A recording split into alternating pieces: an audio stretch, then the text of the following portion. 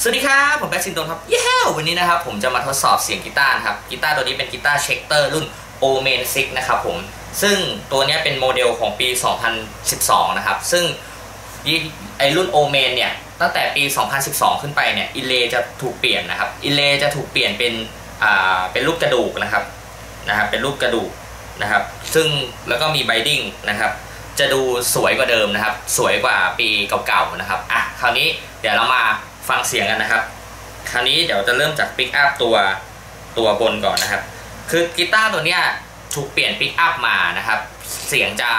แตกต่างจาก original นะครับ ซึ่งผมก็ไม่รู้ว่าเปลี่ยนปิกอัพอะไรนะครับ แต่ว่าฟังฟังกันดูไว้เป็นแนวทางแล้วกันนะฮะ